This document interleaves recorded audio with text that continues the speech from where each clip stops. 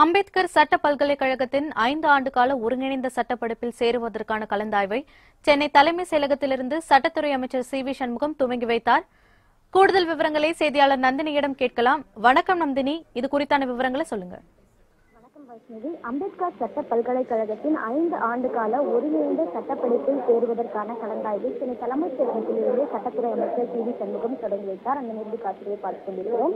ஐந்தாண்டு ஒருங்கிணைந்த BA LLB honours BBA LLB honours BCom LLB honours மற்றும் பிசிஏ எல்எல்பி ஹானர்ஸ் ஆகிய சட்டப்படிப்புகளில் சேருவதற்கான தரவரிசை பட்டியல் மற்றும் வெட்டு மதிப்பெண்கள் அதாவது கட் ஆஃப் என சொல்லக்கூடிய வெட்டு மதிப்பெண்கள் பொறுத்தவரையில் கடந்த அக்டோபர் ஒன்றாம் தேதியன்று தமிழ்நாடு டாக்டர் அம்பேத்கர் சட்ட பல்கலைக்கழக சார்பில் வெளியிடப்பட்டது.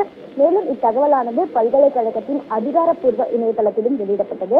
சீர்மிகு சட்டப்பள்ளியில் பயிற்றுவிக்கப்படும் ஐந்து வருட ஒருங்கிணைந்த ஹானர் சட்டப்படிப்புகளுக்கும் தமிழகத்தில் உள்ள அனைத்து அரசு சட்டக் கல்லூரிகளிலும் பயிற்றுவிக்கப்படும் ஐந்து வருட பிஏ எல்எல்பி சட்டப்படிப்புகளுக்கும் விண்ணப்ப படிவங்களை பொறுத்தவரையில் கடந்த ஆகஸ்ட் மாதம் ஐந்தாம் தேதி முதல் இணையதளம் வாயிலாகவும் வாயிலாகவும் ஆகஸ்ட் மாதம் பத்தாம் தேதி முதல் நேரடியாகவும் வழங்கப்பட்டன. பூர்த்தி செய்யப்பட்ட விண்ணப்ப படிவங்கள் கடந்த செப்டம்பர் மாதம் நான்காம் தேதி அன்று வரை பெறப்பட்டன. அதில் சீர்மிகு சட்டப்பள்ளிக்கு நாலாயிரத்தி தொள்ளாயிரத்தி எழுபத்தி இரண்டு விண்ணப்பங்கள் இணையதளம் வாயிலாகவும் வெளிநாடு வாழ் இந்தியர்களுக்கான ஒதுக்கீட்டிற்கு பெறப்பட்ட ஒரு விண்ணப்பம் உட்பட முன்னூத்தி பதினோரு விண்ணப்பங்கள் நேரடியாகவும் பெறப்பட்டன. மேற்படி ஐயாயிரத்தி இருநூத்தி எண்பத்தி மூன்று மொத்த விண்ணப்பங்களில் நான்காயிரத்தி தொள்ளாயிரத்தி பத்து விண்ணப்பங்கள் ஏற்றுக்கொள்ளப்பட்டு முன்னூத்தி எழுபத்தி மூன்று விண்ணப்பங்கள் தகுந்த காரணத்துடன் நிராகரிக்கப்பட்டிருப்பதாகவும் தெரிவிக்கப்பட்டிருந்தது. அரசு சட்டக் கல்லூரிகளில் பயிற்றுவிக்கப்படும் ஐந்து வருட பிஏ எல்எல்பி சட்டப்படிப்பிற்கு ஒன்பதாயிரத்தி இருநூத்தி எட்டு விண்ணப்பங்கள் இணையதளம் வாயிலாகவும் இரண்டாயிரத்தி பதினோரு விண்ணப்பங்கள் நேரடியாகவும் பெறப்பட்டிருக்கின்றன. தற்போது அந்த விண்ணப்பங்களை சரிபார்க்கும் பணியும் நடைபெற்று வருகிறது. கடந்த இரண்டாயிரத்தி பத்தொன்பது இருபதாம் கல்வியாண்டை விட நடப்பு கல்வியாண்டில் கூடுதலாக இரண்டாயிரத்தி ஐம்பத்தி ஐந்து விண்ணப்பங்கள் சீர்மிகு சட்டப்பள்ளியில் பயிற்றுவிக்கப்படும் ஐந்து வருட ஒருங்கிணைந்த ஹானர் சட்டப்படிப்புகளுக்கும் மூவாயிரத்தி இருநூத்தி தொண்ணூத்தி ஐந்து விண்ணப்பங்கள் அரசு சட்டக்கல்லூரிகளில் பயிற்றுவிக்கப்படும் ஐந்து வருட பிஏ எல்எல்பி சட்டப்படிப்புகளுக்கும் வழங்கப்பட்டிருக்கிறது என்பதும் குறிப்பிடத்தக்கது.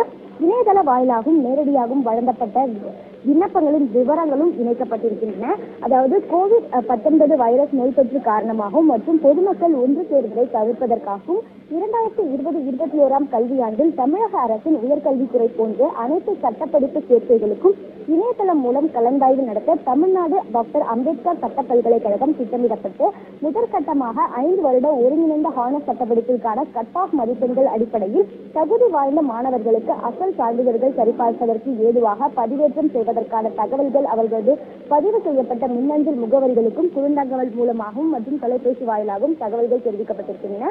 சீர்மிகு சட்டப்பள்ளியில் பயிற்றுவிக்கப்படும் ஐந்து வருட ஒருங்கிணைந்த ஹார்னஸ் சட்டப்படிப்பிற்கான இணையதள கலந்தாய்வு தமிழ்நாடு தமிழக சட்டத்துறை அமைச்சர் சி வி சண்முகம் இ- இணையதளம் வாயிலாக தொடங்கி வைத்திருக்கிறார். இந்த இந்த இந்த இடத்தை பொறுத்தவரையில் ஆஹ், குறிப்பாக சட்ட கல்வி பயிலும் முதல் இரண்டு இடங்களை பெற்ற மாணவர்களுக்கு நேர் சேர்க்கை ஆணையினையும் தமிழக சட்டத்துறை அமைச்சர் இன்று வழங்கியிருக்கிறார். இந்த நிகழ்ச்சியை பொறுத்தவரையில் அம்பேத்கர் சட்டப் பல்கலைக்கழகத்தின் துணைவேந்தர் சாஸ்திரி மற்றும் தமிழக அரசின் சட்டத்துறை செயலாளர் கோபி ரவிக்குமார் உள்ளிட்ட முக்கிய அதிகாரிகளும் கலந்து கொண்டிருக்கின்றனர். இந்த அதாவது ஐந்து வருட கால ஒருங்கிணைந்த சட்டப்படிப்பில் சேர்வதற்கான ஆன்லைன் கலந்தாய்வை சென்னை தலைமைச் செயலகத்திலிருந்து அமைச்சர் சி வி சண்முகம் தொடங்கி வைத்திருக்கிறார் என்பதும் குறிப்பிடத்தக்கது.